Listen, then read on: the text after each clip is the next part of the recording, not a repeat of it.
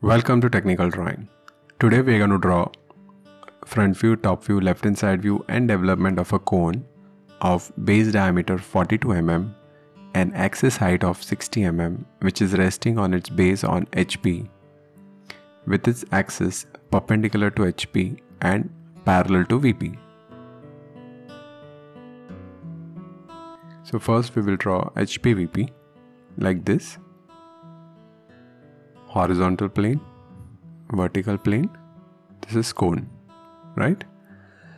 So when you axis is perpendicular to HP so top view will give you true shape and front view will give you triangle like this.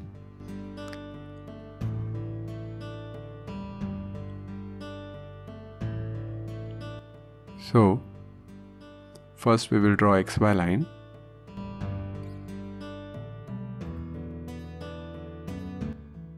We'll take radius 21 and we'll draw a circle of diameter 42.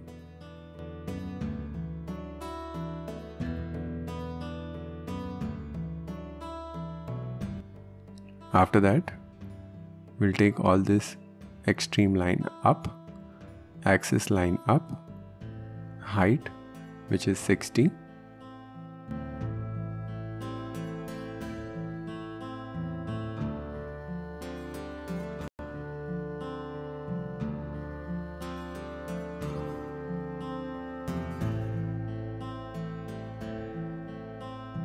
Then you mark dimensioning.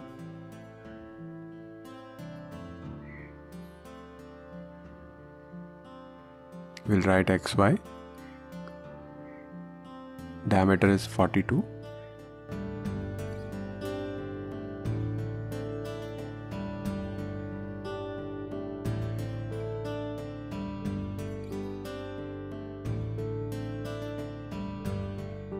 Then we'll draw side view. For side view, we'll take 45 degree.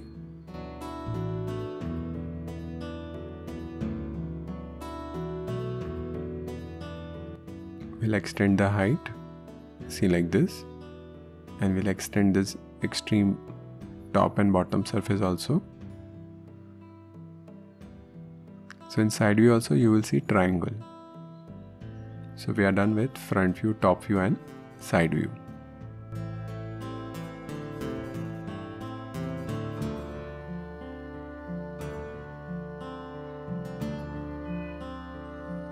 Now this is true length.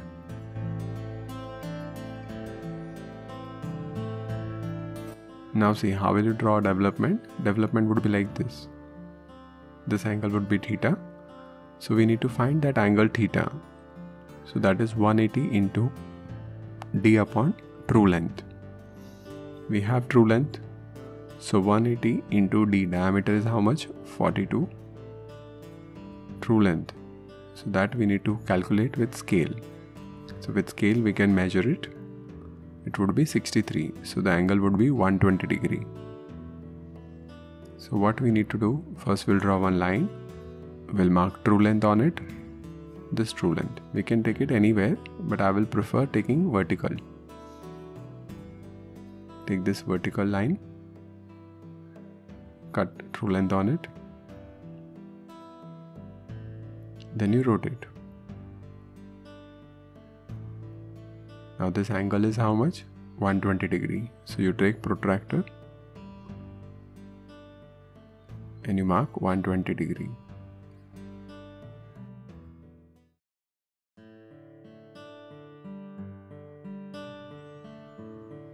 So this is theta. So we are so we are done with the development of a cone. This is radial surface development. Now if you want total surface development then you draw circle over here. You can draw circle anywhere.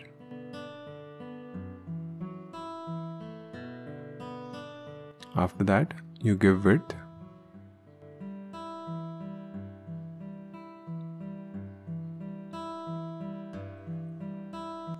this we are doing for model making we can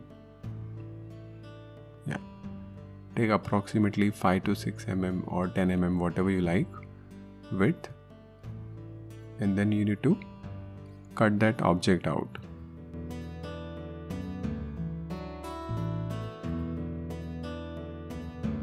Draw lines at the corner and you cut. So it will be like this. See this? Then you cut this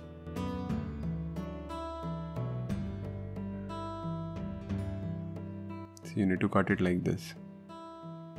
Okay and then you fold all these edges all these lines. So whenever you have a circular object make sure you will cut it like this. See now you put a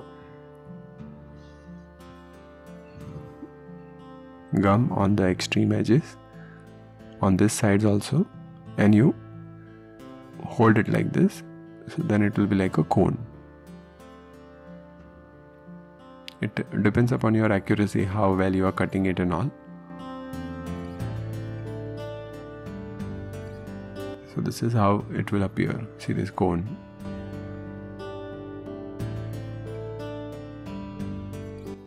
This is top view front view side view and this is how it will look when you develop it.